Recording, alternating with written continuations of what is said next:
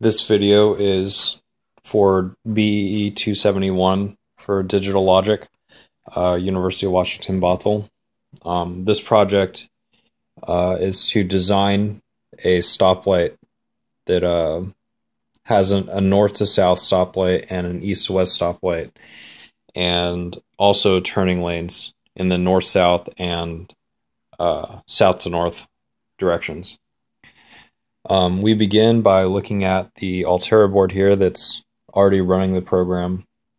And um, right now we're at the first sequence where uh, cars are stopped in the north and south lane, and um, the east and west lane has okay. So now it just stopped, and now it changed to the east and west lanes, and this will go on for six seconds as the lab is planned, and the north and south will go for 10 seconds.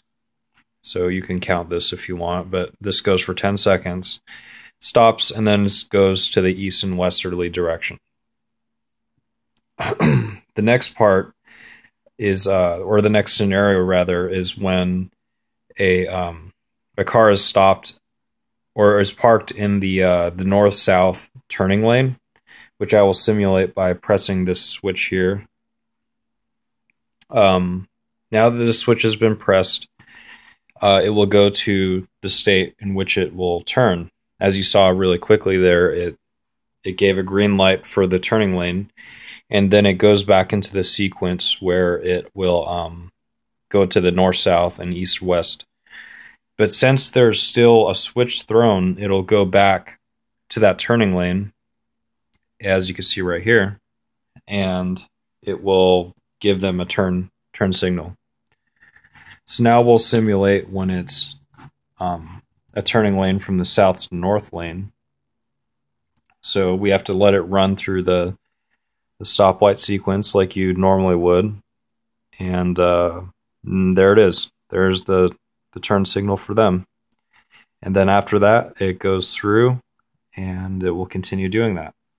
And now we'll have the event where there are cars in both the south, north, and north south directions by switching both switches.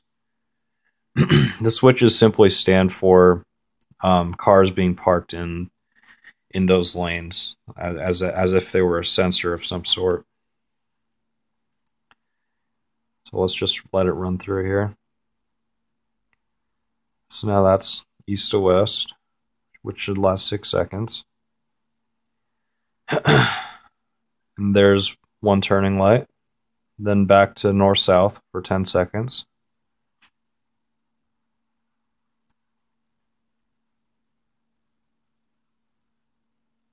Stoplight east to west.